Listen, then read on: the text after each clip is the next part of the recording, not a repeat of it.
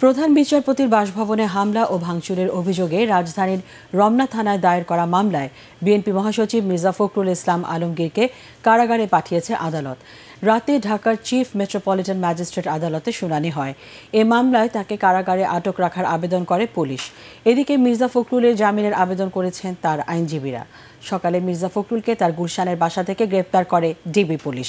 শনিবার বিএনপির মহাসমাবেশ শুরুর আগে প্রধান বিচারপতির বাসভবনে হামলা করে দলটির কর্মীরা। এই ঘটনায় রমনা থানায় মামলাটি দায়ের করা হয়।